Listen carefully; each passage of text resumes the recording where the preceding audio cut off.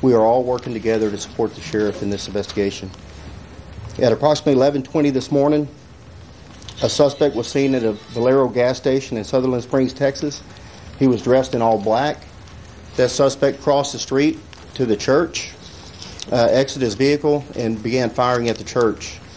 That suspect then moved to the right side of the church and continued to fire. That suspect entered the church and continued to fire. As he exited the church, a local resident grabbed his rifle and engaged that suspect. The suspect dropped his rifle, which was a Ruger AR assault type rifle, and fled from the church. Uh, our local citizen uh, pursued the suspect at that time. A short time later, as law enforcement responded, that suspect, right at the Wilson uh, Guadalupe County line, he ran off the roadway and crashed out and was found de- deceased in his vehicle. At that time, we at this time we don't know if it was a self-inflicted gunshot wound or if he was shot by our local resident who engaged him in gunfire. we know he's deceased in the vehicle. The the suspect has not been completely identified.